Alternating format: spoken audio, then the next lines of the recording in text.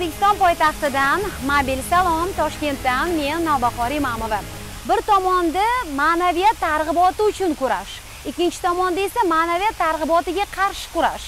Lekin bizning asosiy savolimiz shuki ma'naviyat o'zi nima unga qanday erishiladi? Uning uchun kurash kerakmi o'zi?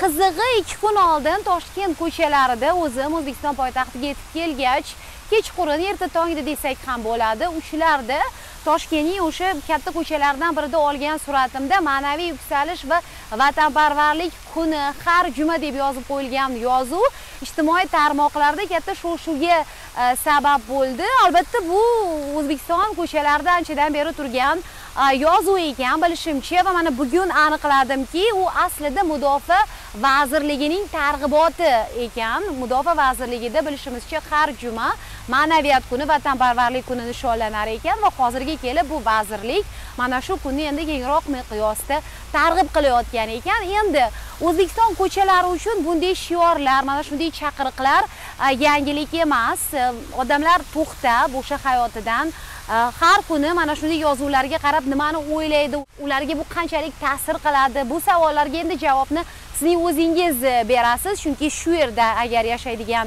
e, odam bo'lsangiz lekin mana ko'rib turibmiz bir necha kundan beri haftadan e, beri desak ham bo'ladi ma'naviyat haqida o'zbekistonda qizg'in bahs ketmoqda. Bir tomon aytganimdek o'sha ma'naviyat uchun kurash ya'ni shu paytgacha olib borilgan ma'naviyat siyosiy propagandasi uchun kurash ya'ni bu o'zbekiston uchun to'g'ri o'zbekistonning o'zligini saqlab qolish uchun mana shunday targ'ibot zarur degan taraf.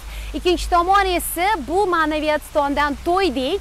Va e, bizga bunday propaganda kerak emas. Odamlarga mantiqiy fikrlashni o'rgatish kerak ta'lim tizimini yaxshilash kerak so'z erkinligini kengaytirish kerak matbuot erkinligi kengaygan sari bunday propagandaga mana shunday targ'ibotlarga o'rin qolmaydi. Odamlarga o'sha mantiqan o'ylashni va fikrlashni o'rgatish kerak degan taraf va yana boshqa bir qancha taraflar bor.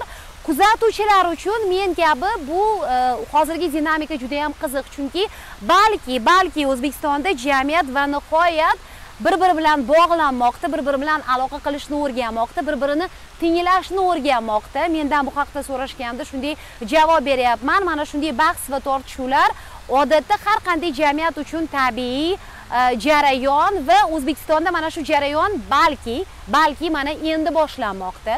Xo'sh siz o'zingiz qanday fikrdasiz? Bilaman ma'naviyat degan so'z ko'pchilikni charchatgan ko'pchilikning tinkasi qurigan bu e, mavzudan. E, lekin shu bilan birga yana ko'plab odamlar bu tushuncha o'zbekiston uchun juda yam zarur e, ekanini aytadi. Bu boradagi fikringiz albatta biz uchun juda yam qiziq.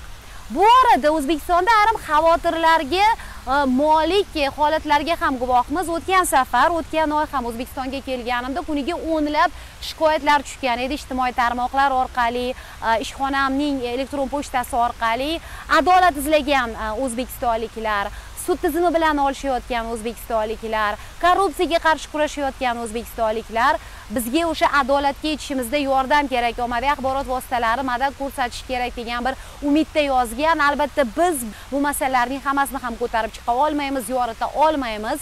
Juda katta mavzular haqida gap ketmoqda. Surishtiruv olib borish kerak buning uchun vaqt kerak mablag' kerak resurs kerak. Lekin e, ijobiy xabar shuki masalan kun uz daryo uz xabar uz va yana ko'plab boshqa mahalliy ommaviy axborot vositalari bugun mana shunday shikoyatlarni hammasini bo'lmasa ham tanlab tanlab o'rganib xalq dardini olib chiqishga harakat qilmoqda va bu ish avvalo mahalliy axborot vositalarining um, ishi. Endi mana kechaning o'zida toshkentga kelganimdan beri bir necha mana xat oldim. Hozirgacha bilishimizcha ozodlik radiosining yetakchi jurnalistlaridan shuhrat bobojon va uning aka ukalari qudrat bobojon va hurmat bobojonga tegishli mol mulk xorazmda ularning ona yurtida musodara qilingan davlat uh, hisobiga bir necha yildan beri xorijda ishlayotgan bu jurnalist va uh, faollarning uh, mulki tortib olingani da'vo qilinmoqda. Э, toshkent viloyatining qibray tumanida esa muhammad shakur degan imkoniyati cheklangan faoldan kompyuteri va aloqa vositalari olib qo'yilgan. U o'sha diniy huquqlarni targ'ib qilgani uchun e, tekshir tekshir boshlanganini aytmoqda. Amerika ovozi bu ishlar haqida albatta xabar topdi. Biz hali o'zimiz tekshirganimiz yo'q lekin o'zbekistonda mana shunga o'xshash holatlar ko'pligi haqida da'vo umuman olganda judayam serob. Mana hozir jurnalistlar bilan gaplashib yuribman.